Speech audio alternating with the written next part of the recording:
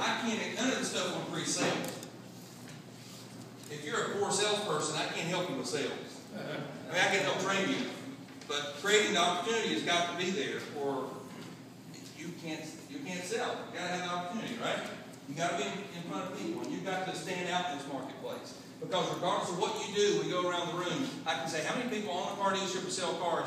And if you, if you poll Winston Salem, you, you know, a few thousand people, you're looking at insurance sales people, how many of them are there?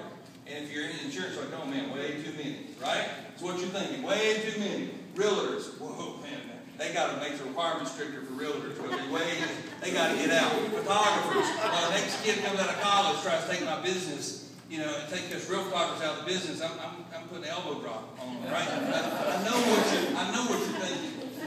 So, all this stuff will help you brand yourself, so when they're thinking, you know, I need a photographer, bam, they already think of you. When I need, I need, well, there's only one Santa Claus, right? But when they think of Santa Claus, they know who they're gonna call, right? Santa Cliff. So, um, Carla, where's Carla? Is she here?